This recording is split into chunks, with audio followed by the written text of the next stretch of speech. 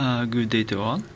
Today we're going to discuss about 555 timer used in PWM uh, circuits. Uh, before we proceed, we will discuss something how uh, 555 timer works and how it is configured to work as a monostable uh, as a multi-vibrator. So a multi-vibrator will just uh, give on and off on and off uh, signal. So through this we can utilize this one uh, to output as a PWM by manipulating the uh, duty cycle of the output of the uh, 555 timer. So this one the output with this one will be high. And uh, while it is reaching the two-thirds of the threshold level the output of this one will become low. And while uh, it is discharging the capacitor is discharging then it reaches one third of the VCC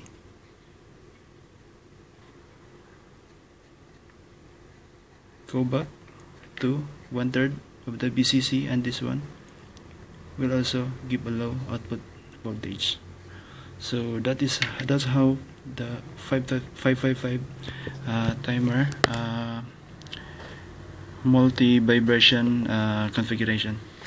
So here this is our 24 volts.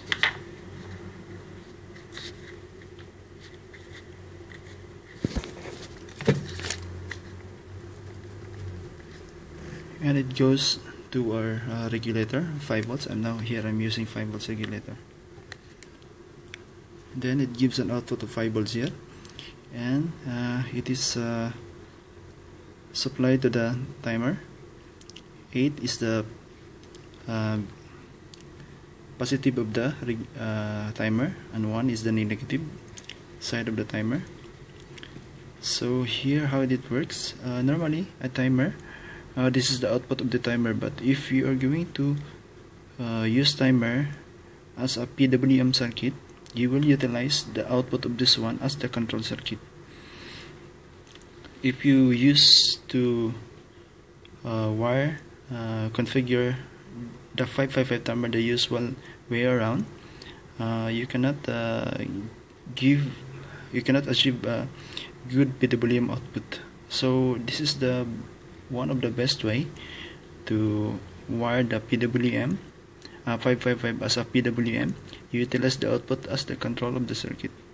So uh, here your output of the PWM uh, at pin number 3 so you are going to uh, utilize this one to supply the uh, this is a 5k potentiometer and then this is 1N 4148 uh, high speed diode.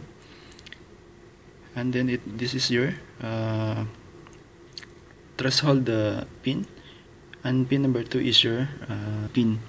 So while uh, you have a positive voltage here you're going to charge your uh, timing capacitor until so this is this is this is your capacitor here until uh, it will reaches two-thirds of the VCC of your which is 5 volts 5 volts from our regulator.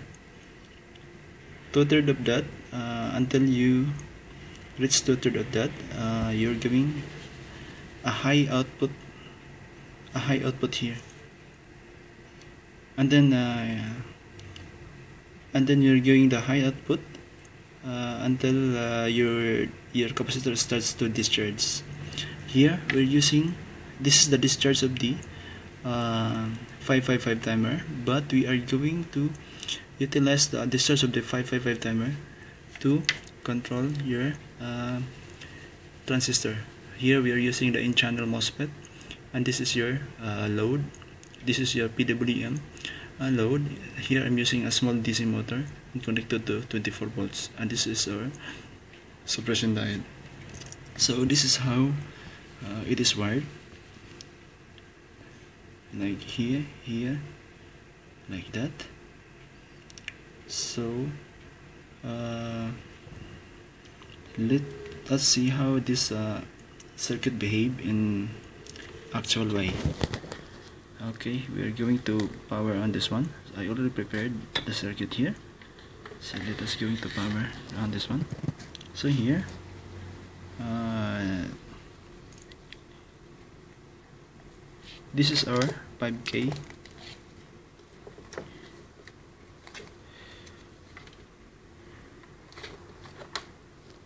this is our 5k potentiometer this is the uh, our high-speed diode then it is fed to the uh, threshold and trigger of the PWM uh, of the 555 timer with the 6 and 2 and here I'm using uh, 0.01 microfarad uh, 0.001 microfarad capacitor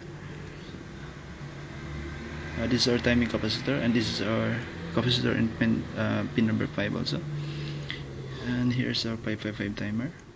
This one is our uh, this is our uh, n channel MOSFET. This is our bias transistor for uh, our uh, MOSFET. So this one this is the one. This is this transistor I'm using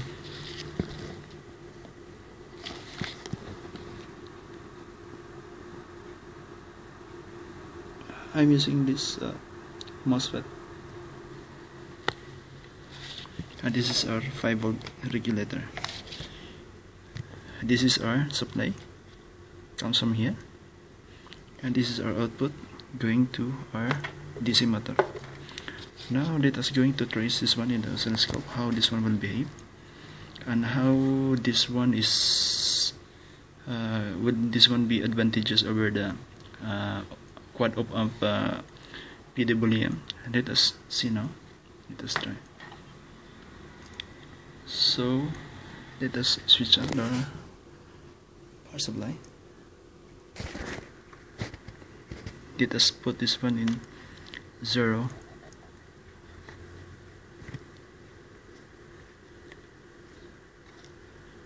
okay let's start. So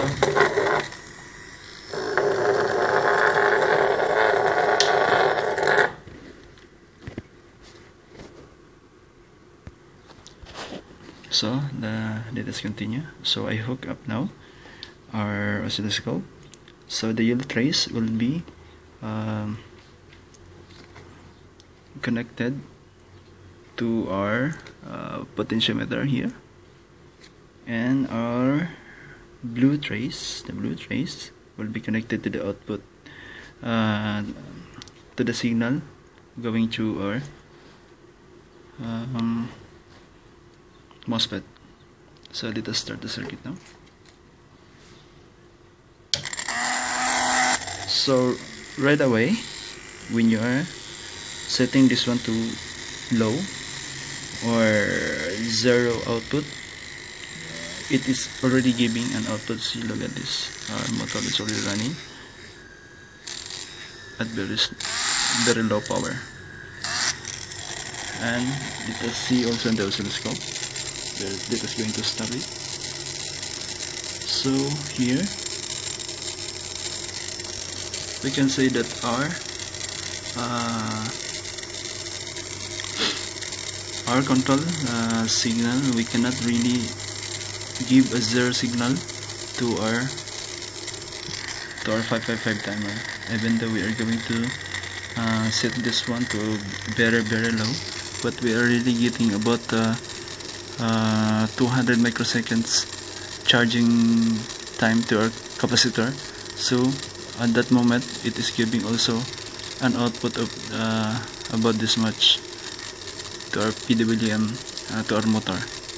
So we cannot give a zero output. We cannot produce an output that is zero uh, at the start using this uh, 555 timer. Now let us going to increase our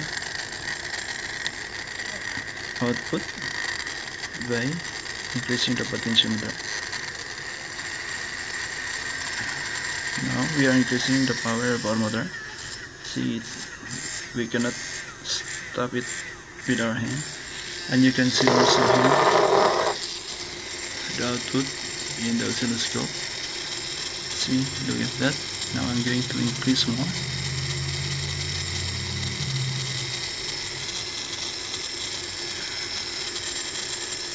So this is now 100% output uh, PWM I will reduce that one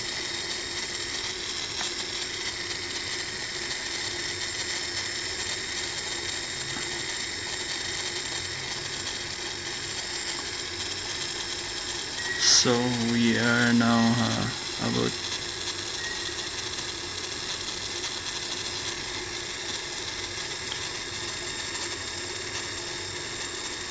we are now about 1 2 3 4 5 6 6 times 2 uh, 1200 uh, milliseconds. Are